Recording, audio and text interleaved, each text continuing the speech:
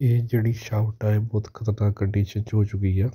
ਇਹ 'ਚ ਕਚਰਾ ਆ ਗਿਆ ਸੀ ਮੈਟਲ ਦਾ ਜਿਸ ਦੀ ਵਜ੍ਹਾ ਸ਼ਾਫਟਾਂ ਦੇ ਦੰਦੇ ਖਰਾਬ ਹੋ ਚੁੱਕੇ ਆ ਔਰ ਸਭੀ ਕਹੀ ਜਾਂਦੇ ਕਿ ਸਾਰਾ ਕੁਝ ਹੀ ਚੇਂਜ ਕਰਨਾ ਪੈਣਾ, ਸਾਰੀਆਂ ਸ਼ਾਫਟਾਂ ਪਰ ਇਹ ਹੀ ਰਿਪੇਅਰ ਹੋ ਕੇ ਚੱਲ ਜਾਣਗੀਆਂ। ਹੁਣ ਅਸੀਂ ਤੁਹਾਨੂੰ ਨੈਕਸਟ ਪਾਰਟ 'ਚ ਦਿਖਾ ਰਹੇ ਹਾਂ ਕਿ ਇਹ ਸ਼ਾਫਟਾਂ ਰਿਪੇਅਰ ਕੀਤੀਆਂ ਹੋਈਆਂ। ਬੈਰਲ ਦੀ ਵੀ ਖਸਤਾਲਤ ਹੋਈ ਪਈ ਆ ਬੈਰਲ ਵੀ ਰਿਪੇਅਰ ਹੋ ਜਾਏਗਾ। ਐਸੀ ਕੰਡੀਸ਼ਨ 'ਚ ਮਸ਼ੀਨ ਆਉਣ 'ਤੇ ਕਿਸੇ ਨੇ ਘਬਰਾਉਣਾ ਨਹੀਂ। ਕਿਉਂਕਿ ਇਹ ਚੀਜ਼ਾਂ ਮੇਨਟੇਨੈਂਸ ਹੋ ਜਾਂਦੀਆਂ। ਆਹ ਦੇਖ ਲਓ ਸ਼ਾਫਟਾਂ ਨੇ, ਪੂਰੀਆਂ ਤਰ੍ਹਾਂ ਝਰੀਆਂ ਸਾਫ਼ ਹੋ ਚੁੱਕੀਆਂ, ਇਹੋ ਹੀ ਸ਼ਾਫਟਾਂ ਵਾ ਰਿਪੇਅਰ ਹੋ ਚੁੱਕੀਆਂ। ਜਿਵੇਂ ਮਰਜ਼ੀ ਦੇਖ ਸਕਦੇ ਹੋ ਤੁਸੀਂ, ਇਹਨਾਂ ਦੰਦੇ ਦੁਆਰਾ ਪੈ ਚੁੱਕੇ ਆ। ਔਰ ਬੈਰਲ ਵੀ ਕਲੀਨ ਪੂਰੀ ਤਰ੍ਹਾਂ ਰਿਪੇਅਰ ਕਰ ਦਿੱਤਾ, ਔਰ ਪੂਰੀ ਤਰ੍ਹਾਂ ਸਕਰੂ ਪੈਕਸ ਕਰ ਦਿੱਤਾ ਹੈ। ਠੀਕ ਹੈ ਨਾ ਇਹ ਕੰਮ ਕਰਨ ਨੂੰ ਲਗਭਗ 10 12 ਘੰਟੇ ਦਾ ਤੁਹਾਡਾ ਪ੍ਰੋਸੈਸ ਲੱਗਿਆ ਹੈ।